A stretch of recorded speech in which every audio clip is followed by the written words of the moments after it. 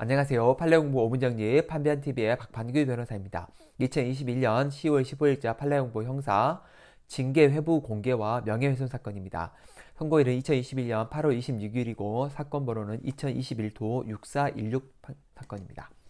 판례공부 요지는 다음과 같고요. 이 영상 보시고 나서 궁금한 점 있으시면 판례공부 원문을 찾아보시기 바랍니다.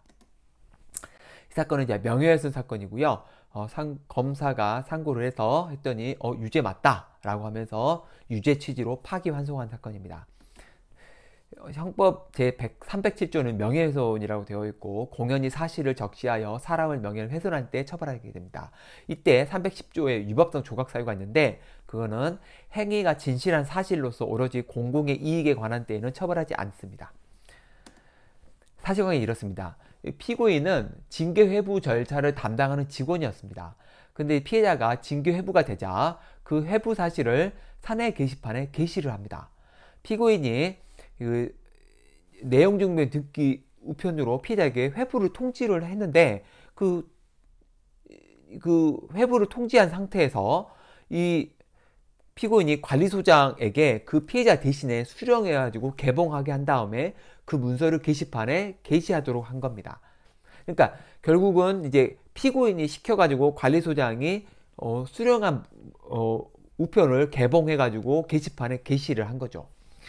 여기에 대해서 이게 이제 징계 회부를 이제 공개하는 것이 과연 명예훼손이 되느냐 이게 이제 문제가 된 겁니다. 이 결국 회사의 징계 절차를 회부한 문서, 이 문서를 게시판에 게시한 것이 공공이익에 관한 것이냐 이게 이제 문제가 되는 거죠. 307조에는 적용되는데 310조 위법성 조각이 되느냐가 이 문제가 되는 겁니다. 대법원은 뭐라고 하냐면 자 징계가 회부됐다는 사실 그 자체 그 자체는 어, 명예훼손이 될 수 있습니다. 왜냐하면 누군가에게 명예가 손상될 수 있으니까. 그런데 그게 공공의 이익인 것이냐 아니냐를 판단을 해야 되는데 대법원은 뭐라고 하냐면 어, 회부 사실 자체는 공공적인 면이 없지는 않다. 하지만 이 문서 회부 자체는 징계 혐의자한테만 문서로 발송되는 사안이었고 그 징계 사유까지만 기대되어 있어서 단순한 절차 사항으로도 볼 수도 없다. 사유가 안에 들어있어서 이 사람 뭐 아무개 일을 했다.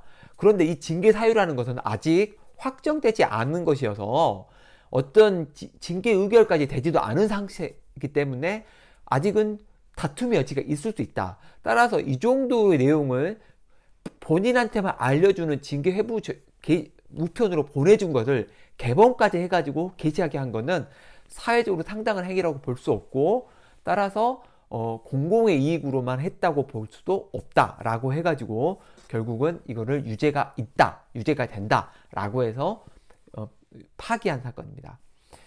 어, 이 사건은 회부 자체만으로는 뭐 공공이익이 될 수도 있습니다. 그러니까 아, 절대 안 된다는 건 아닙니다. 그런데 이 징, 피해자 앞으로 무, 우편으로만 지금 징계 회부가 통지가 됐고 그 징계 회부 통지 내용에 보면 징계 사유의 내용까지 들어있어서 이거는 뭔가 어, 과정에 중대한 흠이 있는 사항입니다. 따라서 그런 경우에까지는 공공이익으로 위법성이 없다고 볼 수는 없다라는 거죠. 반대로 징계가 의결돼서 공제하는 것은 공공의 이익이 될 수도 있습니다. 그 이게 끝났기 때문에 따라서 요거는 징계 해부 사지 자체만 했는데 과정까지 문제가 있었기 때문에 명예훼손이 된다라고 한 것이어서 반드시 징계 해부 사실만 징계 해부된 사실만 공개하는 건 다 명예훼손이다. 공, 위법성 조가 안 된다. 이렇게 단정할 수는 없고 이 사건을 그냥 이 사례로만 기억해 주시는 게 좋을 것 같습니다. 이상 마치겠습니다. 감사합니다.